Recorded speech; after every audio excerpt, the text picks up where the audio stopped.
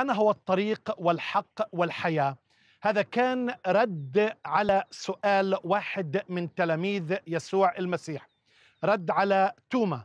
قال توما يا سيد لسنا نعلم أين تذهب فكيف نقدر أن نعرف الطريق?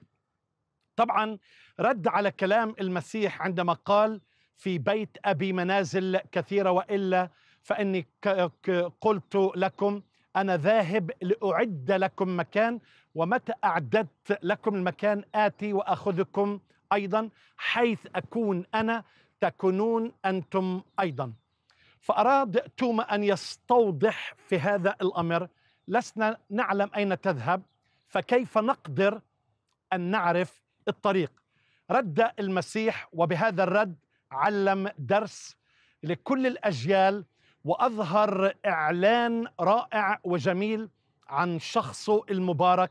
قال أنا هو الطريق والحق والحياة. سيتركهم على الأرض سيذهب ليعد لهم مكان في السماء. طبعا إحنا ما نظلم توما بهذا السؤال لأنه فعلا توما واضح وشفاف ومخلص في هذا السؤال. لم يدعي معرفة. هو اللي ما بيعرفها مثل الكثيرين بحاول يدعي المعرفة.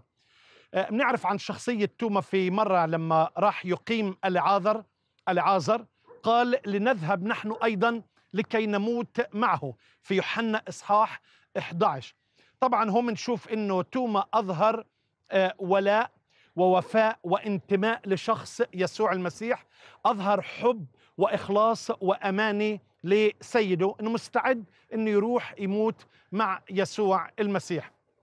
طبعا في مرة تانية في العلية لما ظهر للتلاميذ ما كانش توما موجود لربما كان حزين لغياب سيده لم طبعا لم يقتنع عندما قال التلاميذ إنه شافوا المسيح أراد وأصر أن يرى المسيح.